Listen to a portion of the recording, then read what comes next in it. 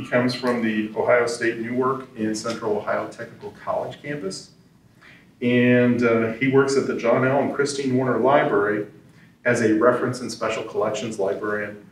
Um, he also has worked with the Ohio Native Heritage Archive, which you'll find online, and in concert with, uh, is that the Newark Earthworks? Newark, yeah.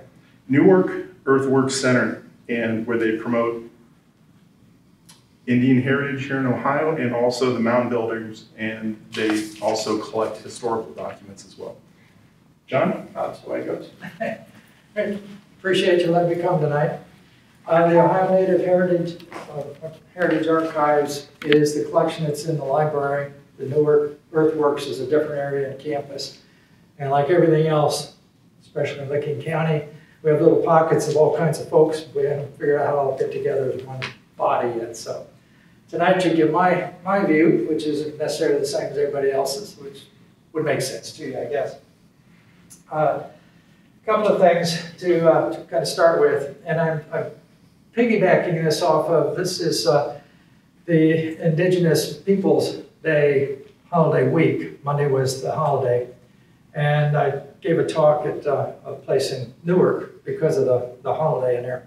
So I wanted to kind of start as a springboard of what's going on in that because there's a lot of different discussion in terms of, uh, you know, should we uh, have a, a, you know, a Native American day like that? Uh, should we replace Columbus Day? You know, all kinds of different ways of looking at it. So I'm going to not give you my opinion until we're done so you kind of see what I'm building mine on. So uh, that's kind of where we're going to go. And what we're looking at primarily Mound Builders is a name that we use, kind of a generic type of a name. Uh, it's not, I guess it's a, not an official name. It's uh, because it, these are the peoples that built mounds. What we're looking at is basically uh, four time periods. Now, not all apply to Ohio, but we've got what we call poverty, uh, the Poverty Point area down in Louisiana, which originally they thought was about 1800 uh, BCE which is you know, almost 4,000 years ago.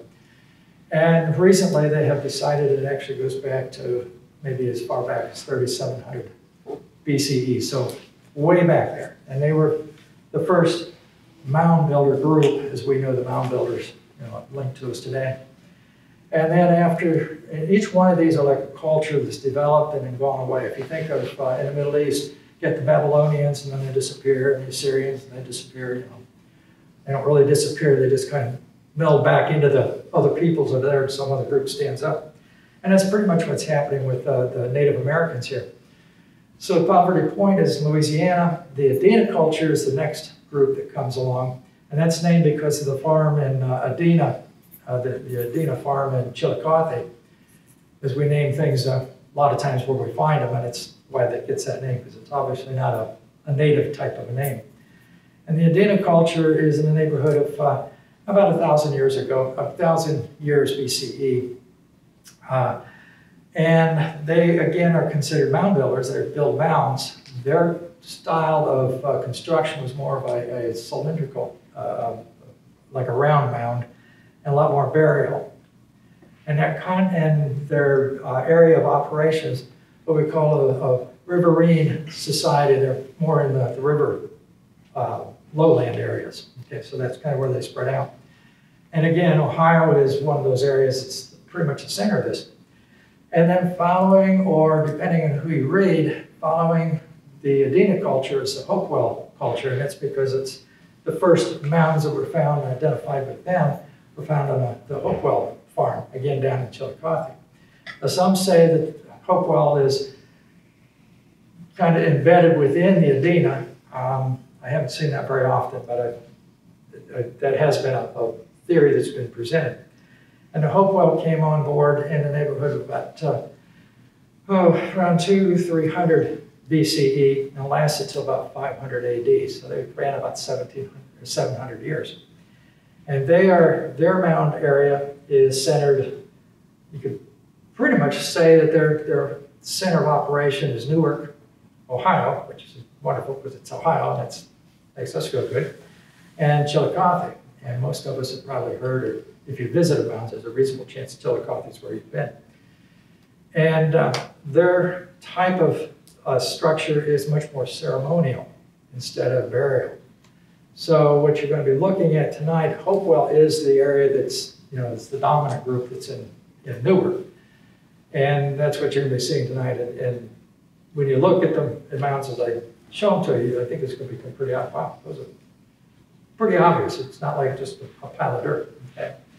So that's kind of what we're looking at.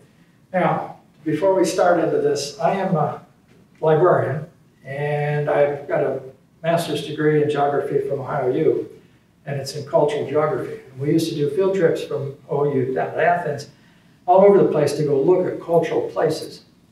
And in the process of doing that, we drove past Newark, I don't know how many times. Never did we ever stop at Newark to see the mounds. It's- As far as I can remember, I don't recall ever even hearing about the mounds. And you think, wow, you know, how in the world can something like this happen? You know, this this whole mound issue. You Now, I realize we're up in you know Wooster here, which is a little bit outside of the the hotbed of activity right now in mounds. Uh, but Licking County, with our our collection of mounds that are there, has applied for uh, UNESCO World Heritage status. Okay, Poverty Point down Louisiana is the next area to, to get it, which makes sense. Doing this more in a time order. And then shortly after that, Newark and Chillicothe are supposed to come on board. And it's because of the Hopewell Mounds that are there. Okay? And then the question becomes, wow, why hasn't anybody heard about it? Why, why is this so in the dark? Well, it's actually, amazingly, pretty recent that most of this has come to light that we even know very much about what's taking place. I started in Newark in 1998, and they mentioned the mounds were there, and I walked past them a number of times, and they're a mound, so I can't look down in them. They're like this right next to the road. So I'd walk by and I'd think, okay, so that's the mounds. It meant nothing to me for about 10 years, and then we started to, to grasp what's going on. So with that kind of a context, and then the other piece of this, as a geographer, there's a couple of key ways that we look at the landscape that's around us. And one of those is we look at location, where things are located. So, you know, that's an important aspect. It gives, if you want to think like an address of where things are at. So look on a map, it gives you a way to find it in a map, those kind of things. The other concept, which is what to me really applies with the mountains, is what we call place. And that is more of a mental connection, an emotional connection. Um, we're, you know, a variety of different ages in here. If I say, when do you, if I throw out your, your grandparents' home, most likely, most of you are going to have thoughts that come to mind of your grandparents' home and get some kind of relationship. If, I'm from Galion, Ohio originally. So if I'd say, uh, when I drive down Hosford Road and I go past my grandparents' house, a lot of ideas, a lot of thoughts, a lot of memories come back. And I place, that place becomes very emotionally connected to me. You're going to drive by the house, it's just a house, okay? And that's what I think's happened with the mountains. The mountains have been there, we haven't developed any kind of a, a relationship to those. And that is what has been taking place here of late. So before we get too far into this, I, I want to read just a little clip. This is uh, one of the books that's come out fairly recently. It's uh, based on a conference we had down in Newark. And it's called the Newark Earthworks, and it's Enduring Monuments Con uh, Contested Meanings. So it's a, a, number of papers that have been presented, different ways of looking at the mounds. It's a great book if you want a nice overview of the mounds, if you want to get one for the library. So um, it's, a, it's a good book. In here, there is, the introduction is written by uh, Glenna Wallace, who is the chief of the Eastern Shawnee located in Oklahoma. The Shawnee are the ones who was the dominant tribe that lived in Ohio before all Native Americans were removed. And she heard that this uh, uh, scholar from England was going to be at a conference in Columbus, and she's from Oklahoma. So she rounded up a couple of her, her uh, um, colleagues, and they came up to Columbus because she really wanted to hear this, this speaker and had a lot of questions. She's done a lot of research. She's chief of the Shawnee, so she's done a lot of research in the Shawnee, the history, and all these kinds of things. And they went to the, the, the conference over in Columbus, and then uh, they were invited to come over to Newark to look at the mountains. So she still wanted to carry on the, conference, the, the, the conversation with uh, this scholar. So she came over to Newark. And I'm going to read just a paragraph. The, the whole introduction is pretty moving, but the paragraph will give you a feeling of what I'm trying to get at when I talk about place. place. And she says, try to imagine the shock and total disbelief I experienced when I stepped out of the car and looked at this intricate array of earthen walls and landscapes where my people, my ancestors, had lived more than 300 years ago. It was surreal. I had spent at least 30 years researching cultures and histories of civilizations throughout the world. I had read everything I could about my Shawnee tribe, all the places they lived, wars they fought, how they dressed, how they worked, how they ate, what they built, how they believed, what they valued, and how they worshiped. I knew about Serpent Mound, but I had never heard of the Newark earthworks. I had never even heard of Newark, Ohio. I was stunned at what I saw. I was in a state of disbelief. This made such an impact. So the question is, why don't we know very much about this? It's because the connection, I mean, even the Native Americans who, that's their ancestry that was there, didn't know anything about this. And I'm going to start with flipping a couple of post with uh, the posters over. This is the one that you were at. Okay. This is a picture of the Great Circle. The mounds were built by the Hopewell. These were built roughly about 2,000 years ago. This is what we call the Great Circle Mound. And on one picture like this, it's a little hard to tell what's going on. It's roughly about two-thirds of a mile if you walk the circumference all the way around. It's uh, somewhere, I forget, just off the top of my head, 2,000 feet across in diameter. They used to hold the county fair inside this. So it gives you a feeling of what this is. It is a circle, has one entry, and we'll come back to this little piece a little bit later.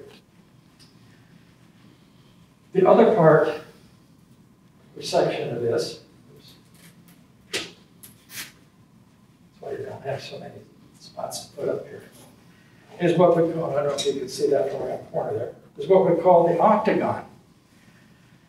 Now, this is the octagon with a circle that goes to it. This circle is separate from this one over here. These, this was also built roughly about 2,000 years ago. And they've, the, the idea was when you first saw the mounds, there was a lot of mounds. We got a couple maps over there and you can kind of see from the, the dots on the map. There's hundreds of mounds, in fact. The question has been, you know, how many mounds are there? The estimate at one time was 100,000 mounds built by all the different mound builders. That number I've seen raised up, they say it could be up to a million mounds. So, but what's a, what's a mound? It's a hill. It's a little pile of dirt most of the time. So if there's not a connecting story to it, so you see a pile of dirt, what's that mean to you? It doesn't mean anything. It's when they figured out what the connection was, put this together, all of a sudden gave a reality to it, brought that concept to place. In the first part, early 1980s, 1980s, this is, you know, half of us in this room were alive at that point, so it's not that long ago.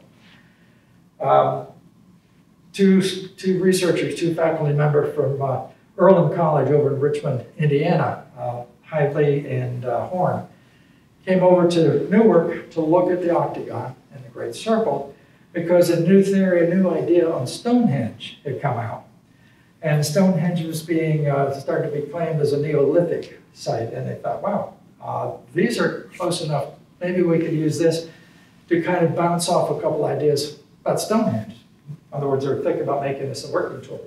And the idea is, I've always heard it, anybody can make mounds line up with solar features out here. Okay, so that's what they figured going to do. But I came over, they did their measurements, did all kinds of study. And on the way back to Richmond, they're sitting there saying that it doesn't connect. The, the, the solar connection doesn't make any sense. And somebody said, well, maybe it's lunar. Maybe it's built off of the moon. And they made, a- you know, they sat down and looked at their, their data that they collected and everything. And what they found is that it is a lunar, if you want to think almost like a calendar that's been developed 2,000 years ago. 2,000 years ago, geometry was still being developed by the Greeks. There wasn't a whole lot of understanding of it. Mathematics was pretty basic.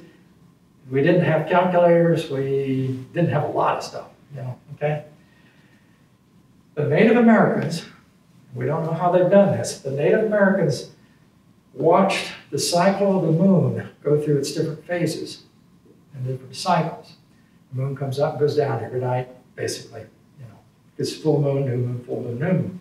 In the process of doing that, every time it arises, it comes up at a little bit different place on the horizon, it goes down in a little bit different place.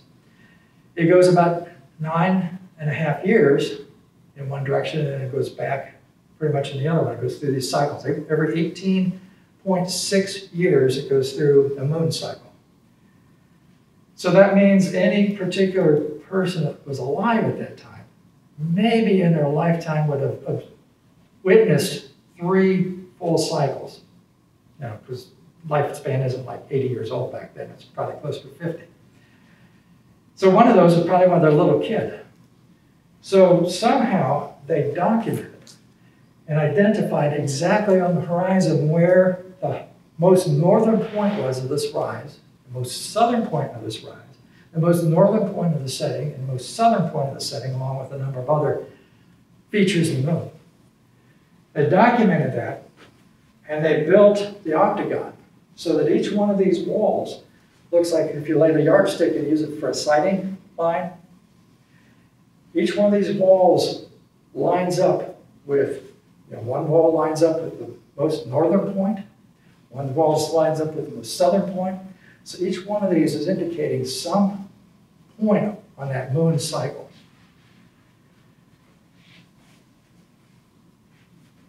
If, uh, well, you look at this, uh, the, the entire complex here is about 50 acres that it's covered. There is a golf course. Should tell everybody that in case you start wondering what all these little white things are. They're sand traps. So the octagon has been preserved by the uh, Mount, uh, uh, Mountain Builder Country Club in Newark. And because they had lease on the, you know, the, the grounds for, you know, 70 years or something like that, we haven't had all the development that you can see all around it. Otherwise, these have been all covered up with houses. So they, they've preserved this. So this whole area has been preserved and they've been able to measure, it's one of the most, we'll say, best manicured, as one of them said, best manicured, most preserved mound collections there is anywhere. And they've been able to uh, hold, hold this together so you can actually see what it looks like, you know, today. This circle and this octagon are two of three parts of this whole entire complex. When we look at this and we look at this, there's a third part that has pretty much been, um, it's called the right, sometimes called the Wright Square, uh, right, like W-R-I-G-H-T. Uh, again, named after somebody probably. And that was a complex of mounds, and as I understand it, included burial mounds in that part. These are strictly ceremonial, they're not burial. Okay? So the three parts, like three prongs to this one uh, large complex of mounds. And this is the largest mound complex in the world. In addition, when you're looking at the tops of these walls, basically they're, they're perfectly level. Now, the landscapes rise and fall. Sometimes the wall's a little higher, sometimes a little lower ground-wise. But each one of these walls is, you know, is, uh, uh, and same with the circle, is on the top would be horizontal so that you can see what's going on in the landscape. The sighting of this is so that they could track what's taking place with the moon. And this would have been another part, and then that other third section. Huge complex. This is all Native American. Pre, probably pretty much pre any metallic construction material. You know, this has been, maybe Iron Age would have been here, but, uh, you know, probably what they dug the dirt to make these mountains, it's all been dug, is probably things like deer bone and, you know, flint, those kind of things. Has anybody been to Flint Ridge in here by chance? Okay. Flint Ridge is a source of fine flint that's mm-hmm. been tracked all over the eastern part of the United States. So it's, it's been traded pretty, pretty widely. And the materials that have been brought in, you know, some of the materials that have been found here, obsidian and some of the other things, are products that have been brought in. So there's, 2,000 years ago, there was a pretty extensive trading network that took place all over the you know, eastern part of the United States. So all of this is hand developed, hand built. They load dirt up in a basket, they haul it over and dump it. They go back, load up another basket, haul it over and dump it. The guess is 7 million cubic feet of dirt were hand dug, dumped, and used to build the mountains. It's a lot of hand moving. Um, no mechanical types of things. As we understand it, mathematics have been pretty basic. But what they were also able to do is not only identify what's taking place in terms of the relationship of these to the mounds, the, the moon to the mounds, but also the area that's within, you know, the, the, the um, octagon and the area within the circle was just about the same amount of area, very close. Which means they have somehow figured out how to, what they call square the circle. Uh, I'm not a mathematician, so I'm not even remotely going to try to explain it to you, what's going on. But to figure out what the area of a circle is and make that equal to the area of the octagon is pretty advanced mathematics. When the first Europeans saw this in the early 1800s, it was a pile of, you know, a whole bunch of mounds, and some of them had a bit of a, a relation, you know, a, an interesting design to them. But to ever give credit to the Native Americans that were here to be able to do that kind of complex mathematics, uh, and still today is, is you know, questioned by a lot of folks. So at one point in the history of Native Americans, they had a pretty extensive knowledge and capability of, of mastering um, that kind of mathematical relationship that's taking place. Now, in addition to this, I'm going to go through a couple other posters here because I want you to get those before I forget to stick them all up here.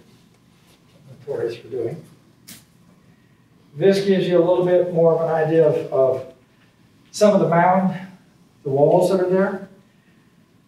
You will notice, like right here is probably the most obvious one, there's passages. Those passageways, the mounds are equal, lines are parallel, and they're all basically the same elevation. They have a number of these passageways. If you wanted to enter the mounds area, you came in by way of the passageway because they had little mounds on the inside that served as like, you know, so you couldn't come in any other way. You had to, had to follow these passageways. The passageways, one led from the octagon over to the great circle. There was another one of roughly the same length that led from the octagon to the Wright Square. And the Wright Square led one over the great circle. So these were tied together. It's not just the mounds, just the octagon, just the great circle, but they also have these passageways that have been built that allow for the movement of the people. And the idea is the, the you know the different aspects of the ceremonies that are taking place. Those passageways serve like roads, is basically what's taking place.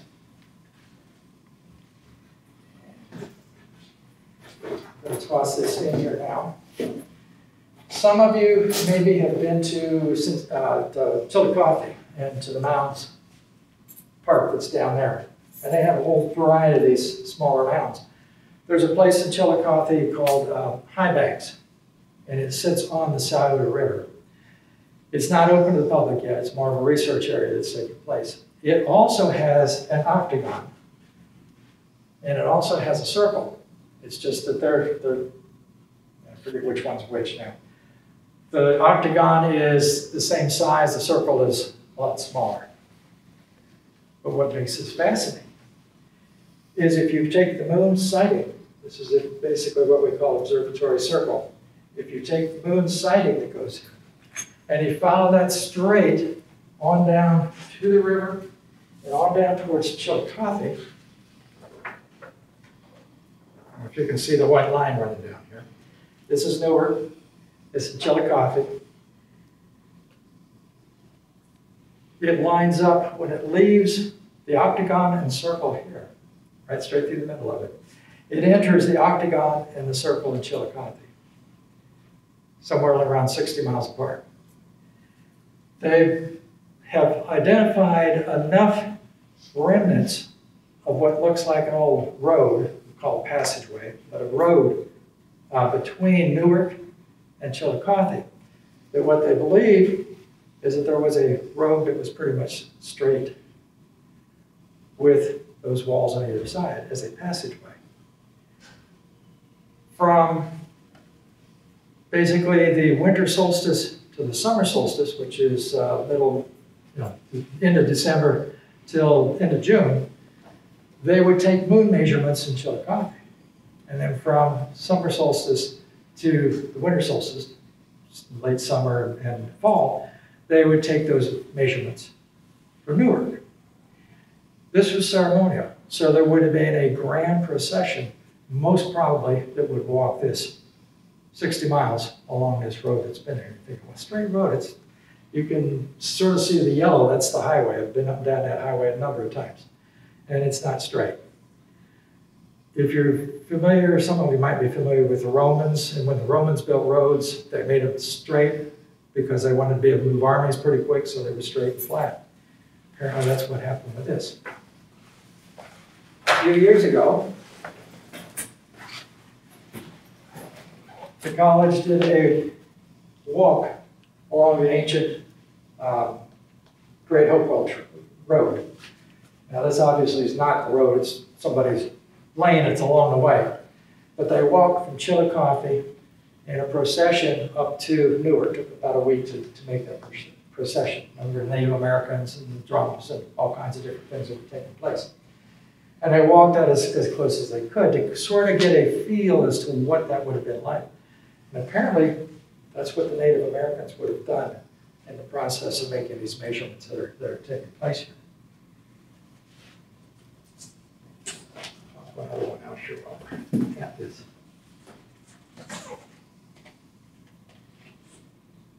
Now, This is Observatory Hill, which is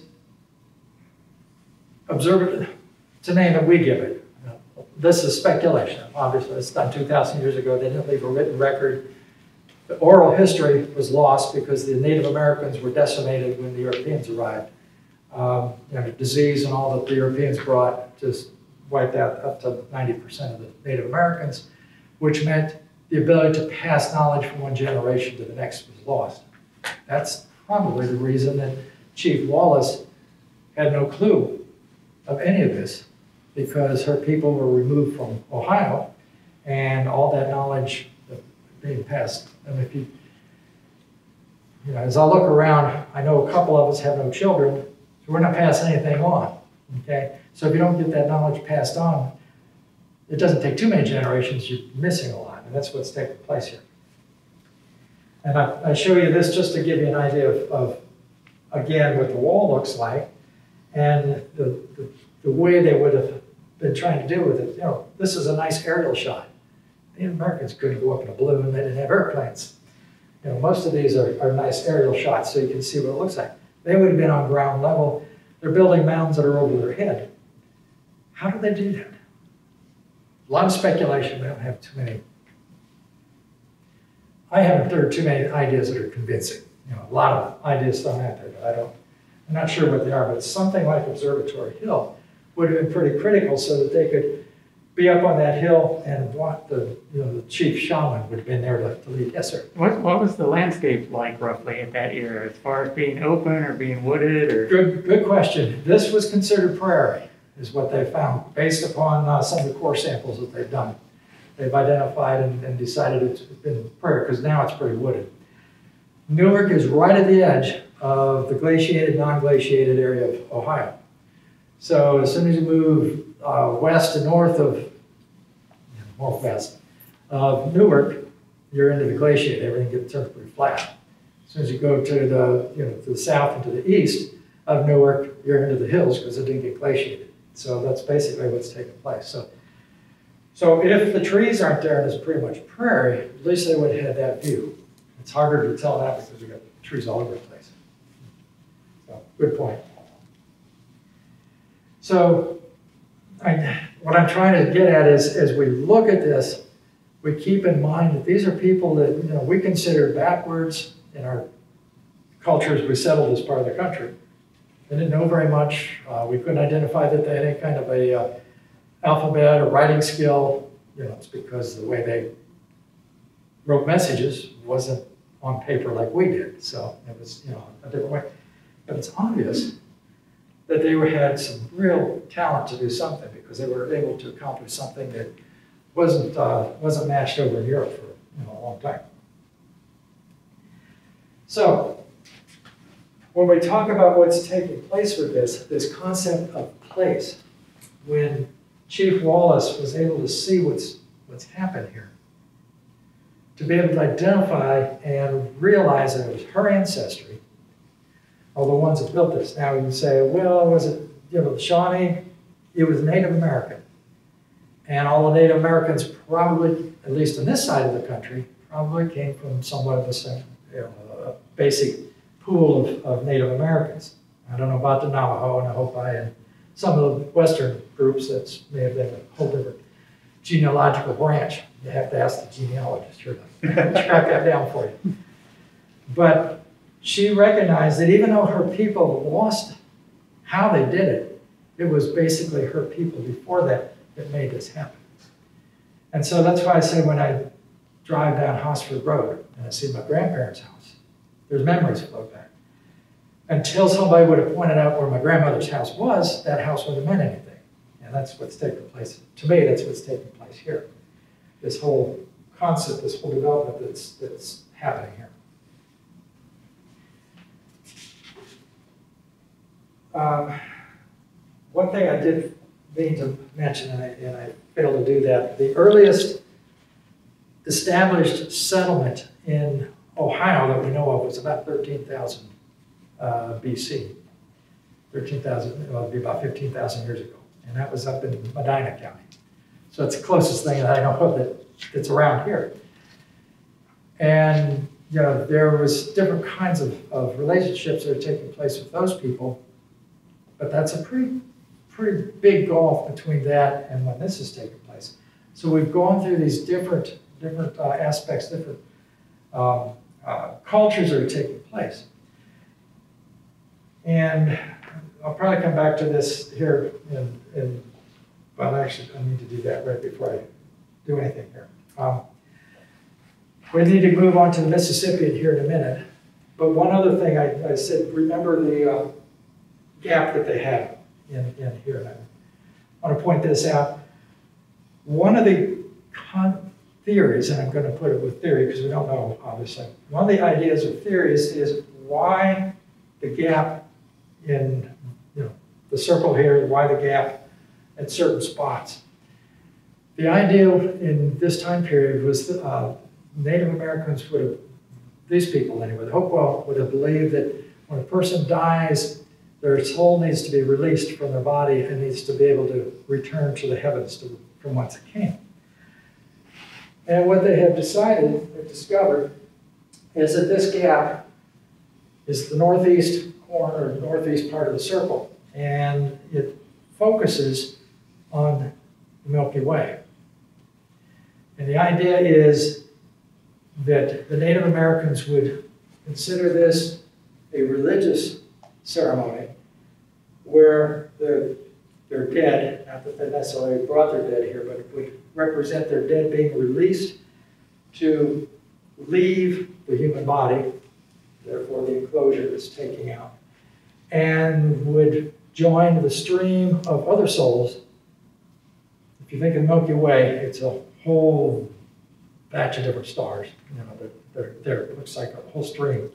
Would join those other ones in the process of moving or flowing off to, to the heavens or wherever they go.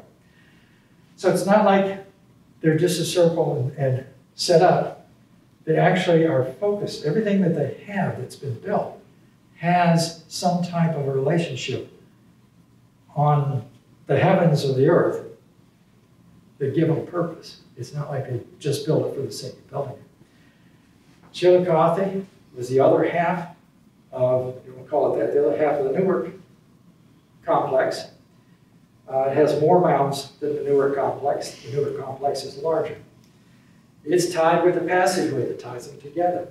The passageway, I mean, the, the, uh, the alignment of the octagon and the circle at 60 miles apart come virtually exactly in together. It's not like, you know, one's got the entrance over here, the other's entrance over here. They're made so that they can actually be tied together. So, pretty significant that things are taking place here. Why did they disappear? We don't know. Around 500 AD, the culture collapsed. There might have been some kind of climate aspect. They've speculated about that. Crops failed. They speculate about that. Um, one of the thing, a couple of the things that they're reasonably certain of, these are ceremonial versus the Adena culture, which was more of a burial and uh, circular type of mounds, um, conical type of mounds. These are much more geometric. They were not built by slave labor, from what they can tell. So somehow they've got the people to come together, work together to make this. It doesn't appear to be warfare because they don't have the, the evidence that would be that would reflect that. And the peoples that would have existed at this time would have been much more, uh, we'll say, clans, because it's probably the thing that we can you know, identify with. So it had to be a bunch of smaller clans that would come together because there's no way, it's, it's not an urban area. It- there wasn't a permanent settlement here. This was ceremonial. They came to, to do the ceremony and then they left. This isn't where they lived. So how do these people get enough people together to move that much dirt? How do they feed all these people? And to me, I keep thinking, um, I go out there and look for the moon. I'm not sure I'm going to find it tonight because it's probably behind the clouds. It's going to be 18 years before it comes back to being that exact- same place again. How many snowy nights? How many foggy nights? How many dark, you know, rainy nights? Are you not going to be able to make those measurements? I, I, it baffles me as to how that takes place. I, I have no clue. You said when, when they moved from Chillicothe to Newark seasonally, That's what, one of the places I read, spec, and this is speculation. Speculation, Yeah, everything's speculation, because there's no, there's no record to tell us. You gotta they, figure out you think what- they were constantly taking measurements all have the time at one location or the other? been- You have to assume, you know, it's seven hundred years, of- yeah, they would be doing that all the time, but even,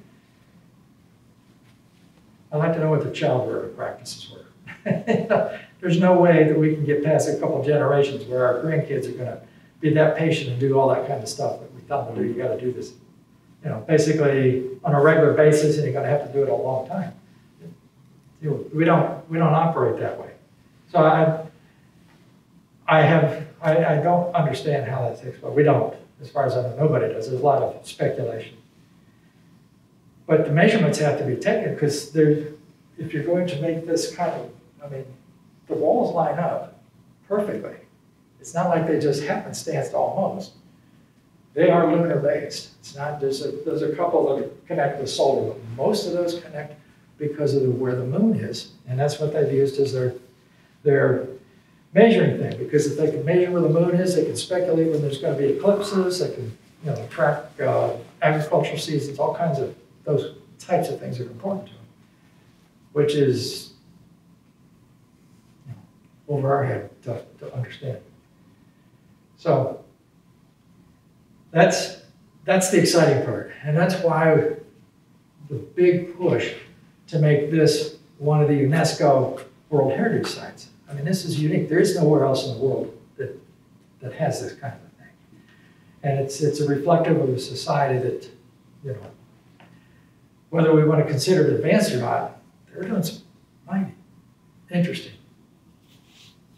uh, complex measurements and to make this all happen. But the society did pass out, pass away, roughly about 500 AD, it ceased to exist. And at that point, I'm not leaving anybody out here. We move into the fourth period of mound building, which is what we refer to as the Mississippian period. Mississippian is probably going to say, well, it's probably got something to do with Mississippi River. And you're right, it's built much more along that. It moves, it's not centered as much in Ohio. It's, a little farther west. This is Fort Ancient. It's over in uh, Dayton area. And again, it's another one of these places, part of the, the mounds that you want to see. This uh, has this wall that goes around, it's the largest single enclosure area um, in the world, I believe. And the idea was it's named Fort Ancient because they thought it was a fort. And then they thought about it, well, there's something like 86 gaps in the wall. Uh, that'd be a little hard to defend. And it covers, you know, an incredible amount of acreage. You couldn't get enough people inside to, to do it as a fort. So they decided, since the name's come out, that it's probably against ceremonial. It's not, uh, you know, has nothing to do with defense. This is a road that's coming in, you know, punctures through the wall. The Mississippian area, uh, era is, uh, most of you are familiar with Cahokia, which is you know, the, the famous mound out in uh, southern Illinois, just outside St. Louis. And that is part of what they call the Mississippian. Our area, the Mississippian, is what we call Fort Ancient, so like a branch of the Mississippian culture. And this would be in the neighborhood of, we'll say, somewhere around 500 AD until roughly the time the Europeans came. And it's, pro- they- their collapse may be connected to the Europeans, not for certain. Probably, you know, this is one thing that you've seen. Uh, Before I go to my next little big slide, me digress for just a moment. One of the great things that's come along here of late, and late, I mean just in the last 10 years basically, is what we call LIDAR, which is sort of uh, geophysical radar kind of a thing, where they can penetrate the ground and see what's underneath there without having to disturb the ground, because these are sacred sites, and Native Americans don't want people out there with bulldozers digging it up to see what's down there. So they've been able to penetrate the ground to see what's there. And what it shows is when the dirt has been compacted, such as walls or holes dug where there used to be posts or wood that are obviously not there anymore, those kinds of things are, show up in this. That's why it's kind of nice to have the, the color contrast that's taking place. It helps show what was there before. It's a marvelous, fairly new way. If anybody's, you know, I should say anybody, if our one person thinking of going into a profession instead of coming out of it, would be interested in geophysical research and, you know, that type of thing, that's, uh, to me, this would be most fascinating because there's so much is, is under, you know, it's buried that we can't see. And that what's revealed is probably gonna change our historical concept of what's taking place. So that's something that's become very um, popular, you know, not cheap, it's sort of like drones uh, in the air when they're flying around. It's the same kind of thing, revolutionizing our ability to do research. So I throw that in there because it's something else that's adding to this. Chief Wallace didn't know about it. We didn't know about it. This is new. This is like, you know, all of us have been on the face of the earth in operational mode since this has come on board, basically. So we're not talking about something that's, we're talking about the, what they're looking at is thousands of years old. But the way to understand it is like, we're just doing it right now. We're in the process of learning there at this point. This is probably the most known mound in the state. It's the famous Serpent Mound. Anybody who's been down to Serpent Mound? Have you? Okay. That's, again, all these are well worth going to visit. Serpent Mound, it looks like a serpent. It's in the process of uncoiling. And what they're saying, what their speculation is, is that it's got its mouth open and there's an egg in its mouth. And there's been a lot of debate about it. It's roughly about four or five feet high as a mound. Uh, it's actually constructed with a certain kind of dirt that's put on as a base, and this has all been built by Native Americans. This is debated as to how old it is. At one time, it was thought to be Adena age, which is pretty old, because a couple little mounds around it are Adena mounds. And then they did a, a test uh, you know, uh, on a some samples out of the mound.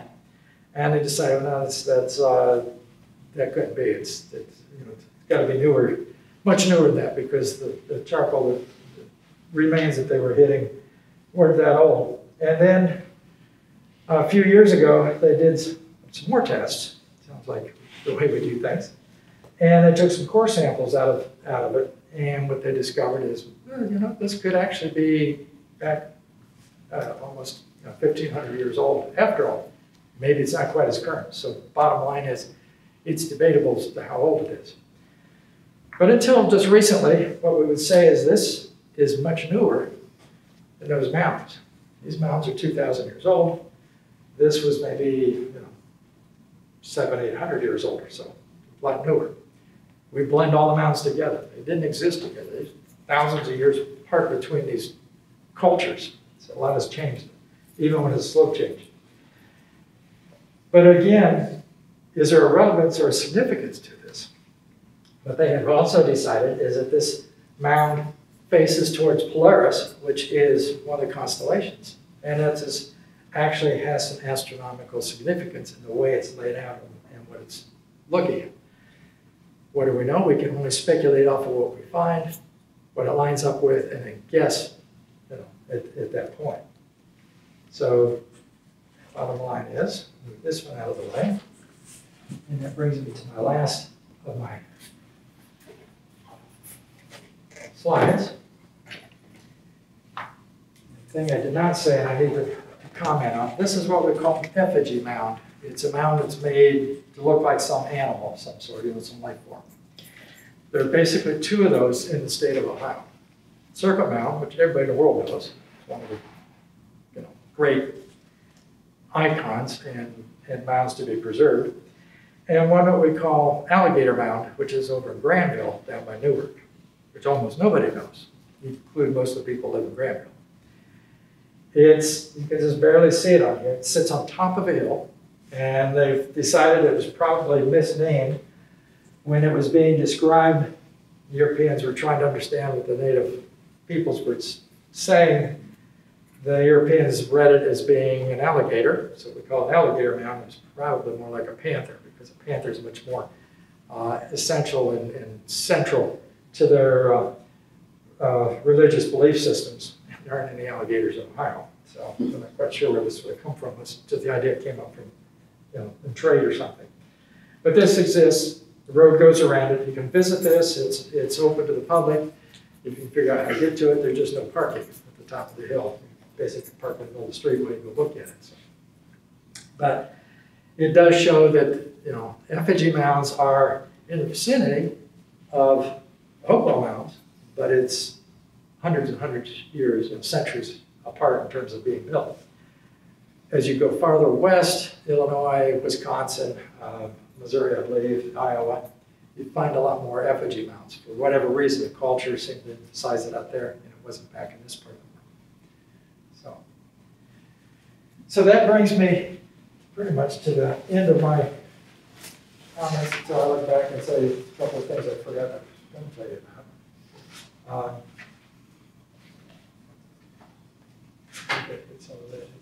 Okay, so that brings me back to my original question, and we talk about the, the Indigenous Peoples' Day, and whether that should be a day that's included as a holiday. And I thought, felt, you know, thought about this for a long time, but when I look at what has taken place, and the historical nature and the significance of what is here, to me, that needs a day that gets celebrated.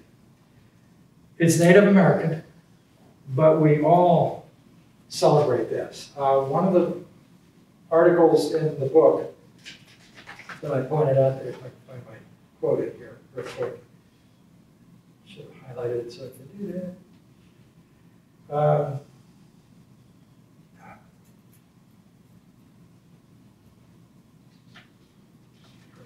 I want to read it. There it is.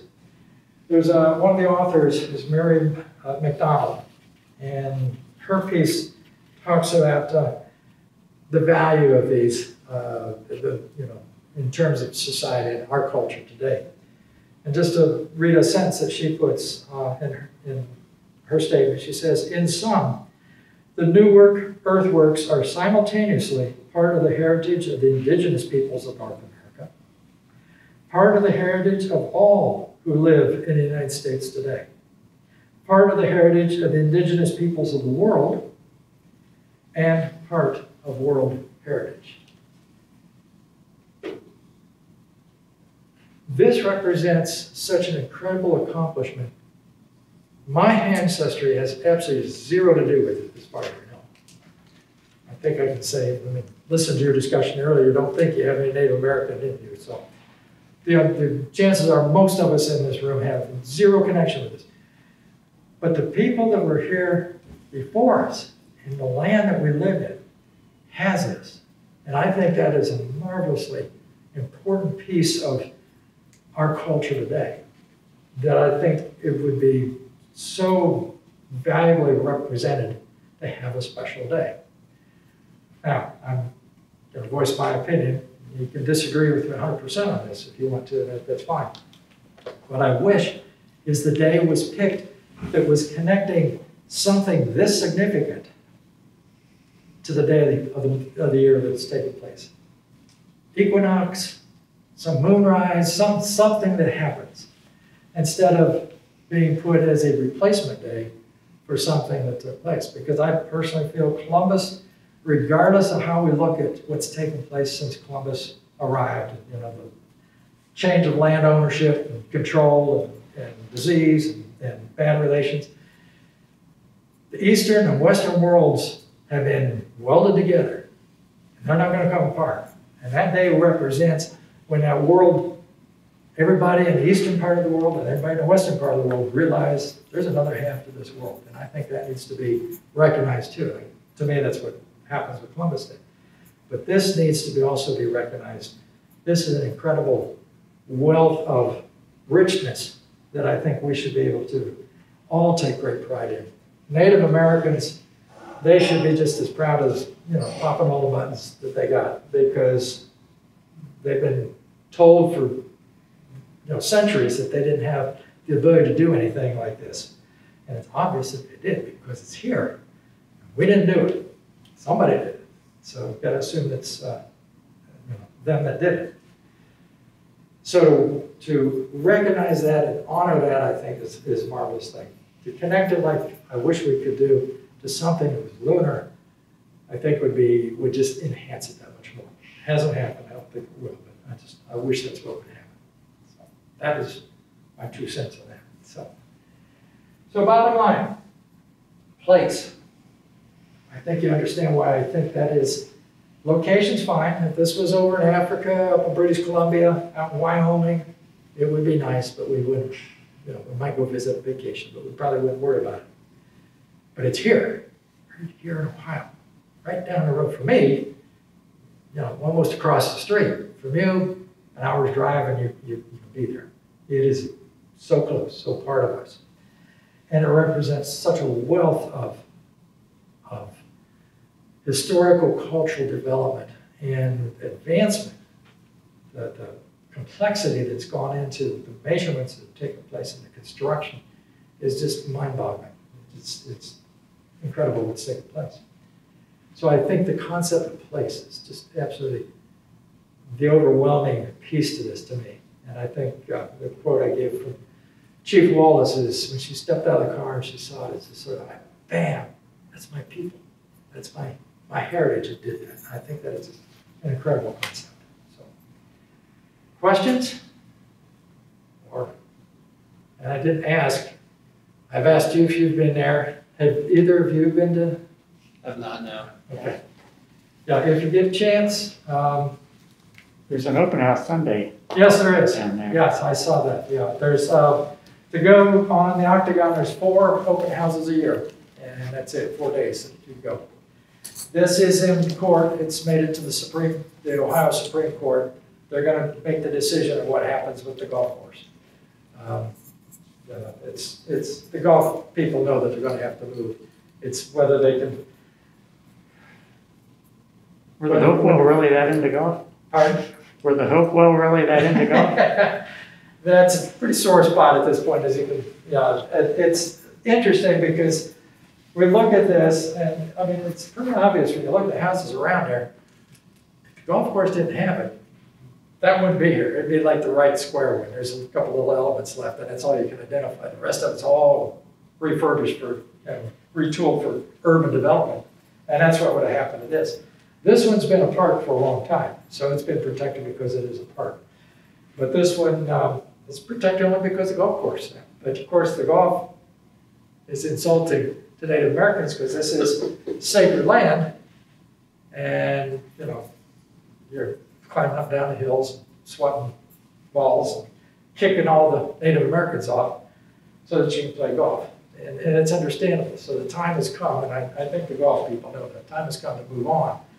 But you can't just, they've got a huge investment here. You can't just walk out the door and not have some way to, you know, relocate. You can't start from scratch somewhere else with no, no financial buyout on this. So if you get mad at anybody, get mad at the Ohio uh, History Connection people, the old Historical Society. They're the ones that leased it out for almost nothing and signed the contract for another 50 years here uh, about 10 years ago or something like that. So it's like, why did they do Just, just for your information, I've been with the, I've uh, been with the Eskimos and Indians in Alaska. And they have a great oral history that they pass on, Right, right, because they've never had it written. right. And they still are very want, wanting to pass out their oral history. So I think some of this has been related and related and related. It, it has. Be- Because I don't think you could do that every year, or uh, some of this probably has been oral history, and they've taken the oral history and uh, done what they were supposed to do. Well, if, it's like anything, it's ceremonial. You bring the children and you, you walk them through why they're doing this and what this means. And this gets, I mean, if you do, uh, uh, well, I'm, I'm thinking of uh, Jews, you know, when they grow up, if, even if they leave their faith, there are certain pieces that, you know, they the bar, bat mitzvah, and those kind of things, that have become so ingrained in them that they, no matter what else they've done, they still relate to that. So that's, that's what's happening. Uh, and, you know, we, we rely on written word, and that's great, but that's a luxury. Uh, if you gotta have food to eat and protection, I'm not gonna sit down and write a book. So, Like I said, their oral history and their culture is very dear and they're dear more- to them. Right, they're more in the margin out there, so they've been able to preserve that versus the The library will close in 30 minutes. Computers and the web automatically shut down in 15 minutes. Thank you. Wait I have at least five minutes. So what you're saying is that what they're doing is the Native Americans are rediscovering their sense of place. Exactly, right, exactly. They have, the Shawnee lived here for, you know, a couple hundred years, came in in, uh, what, the early seventeen hundreds or something like that. They were here for quite a while. And they didn't, they knew the mounds were here. They probably didn't have a relationship necessarily with what happened because by then, the decimation because of disease and war and everything else had replaced that opportunity to, to pass, you know, the children across these areas and explain what's going on. they bless it. So, Weren't the Shawnee driven out by the Iroquois in the sixteen hundreds? no, No? Okay. they should, just the reverse almost. Yeah. The Iroquois controlled Ohio as, as hunting ground and destroyed the Erie, which were up, Hmm. I mean, for where they were located. And then as the Iroquois started to lose some of their power or control, then the, we'll say the emptiness, which is a bad way to phrase it, but the, the area here was, um, the Shawnee moved up from farther south. They were more down Tennessee and Kentucky, as I understand it. They moved up to, to fill here, as, as did the Delaware and Wyandotte and others. And then, in what is it, eighteen forties, I think eighteen forty-five is when the last Native American, last the Wyandottes were taken out. The Shawnee left a little bit before that, were removed Ohio. So, so they're, they were here, would have been their ancestors, but they weren't here as, you know, participants necessarily. But it's like, you know, we identify with our ancestry that did great things. I don't identify with anybody that built the Great Wall of China because I don't, not connected there. But some of the things, you know, England or whatever, my people would have been involved in somewhere or whatever.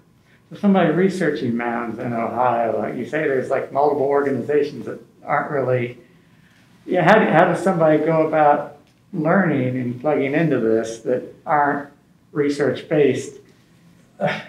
Good question. Where do you point somebody to start? Uh, one of the first things I would do is a couple of books, and there's a ton of them. But this is fairly recent and therefore more up to date in terms of what's going on. And the nice part about it, it's a series of papers. So they take different views and they don't necessarily agree with each other, you know, and I like that. It's, they're not all come from the same camp. And then the references that they use. Uh, there's um, the, the ancient, I always forget what they call this thing, you think after all this time. I want to say the ancient, uh, I have to track it down. The ancient Ohio, I think it's called the Ancient Ohio Trail.org, is kind of a gathering place. It's a nice website. It gives a lot of little uh, pieces of information, little excerpts and recordings and stuff. And from what I can tell, it's still active. The trouble is so many historical things, they get a big burst of activity and then they lose interest and go away, which is, but that one, when I looked it up here last, a week or two ago, it had developed a lot since the last time I looked at it, so I mean, somebody's still working on it, so that, that was good. And as I said, we've got the Newark Earthwork Center, the Native American organization over in Columbus, um, the archives that I, my archives is collecting information on the mound builders of what are called the Eastern Woodlands, which is uh, kind of broad, anybody build mounds in the eastern part of the United States. And therefore, I've got a lot of material in Illinois and, and you know, other places. Those mounds are related, but not, and there's still Hopewell mounds, but not necessarily Ohio Hopewell. I mean, people would have still lived hundreds of miles apart, I doubt they they didn't jump on, you know, they didn't have horses, so they didn't jump on whatever they'd have jumped on to ride over here. And it's a long walk. So that's what, that's one of the things that bugs me to, to know. And it's how in the world do you get enough people that you don't, I mean, if I'm standing out here in the middle, wait a minute, if I'm standing out here in the middle, I'm gonna say, okay, our project for this week is we're gonna start moving dirt. Well, maybe do, but, I mean, I've got a moat around the whole inside of the circle that's uh, about 15 feet deep, and I got a mound that's, you know, like 20 feet high, and I'm gonna move dirt from someplace to someplace to make this happen, and I'm gonna do it, who's gonna do it, who's gonna feed the kids? You know, uh, who's gonna, who's, who's, who's? And that is totally beyond me, I don't know, there wasn't, I mean, there's a lot of people, it said there might have been as many as uh, 55, you know, 57 million Native Americans in North America before the Europeans hit. There might be, but, you know, we got 320, 300, what, almost 340 million people in the United States.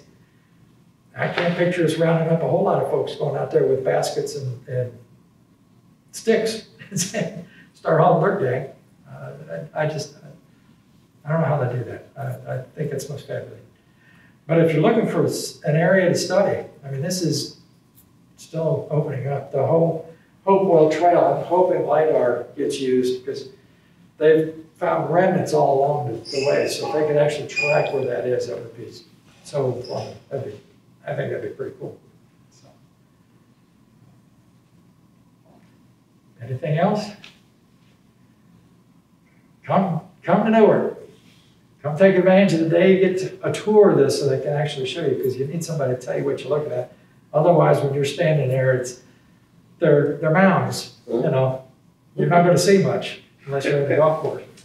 And when you get up on top of the, you know, the tee off, a lot of those are connected with when they were building the mounds and stuff. So it's, it's, you know, originally. Uh, Very reflexive, and then the great circle's always, always a good one. So, I appreciate you coming, and I hope you got something out of it, I hope you got enough to at least get some. I did, yeah, perfect, thank you. So, take a card if you want one, and uh, if you got any questions, you sure drop me a note, so Doing a project? I will Yeah. answer what I can. Well, thank you, this was very interesting. Have you Thank done you. John. I hope it's, Um, so a lot of lecture, a lot of lecture, and just one of the markets.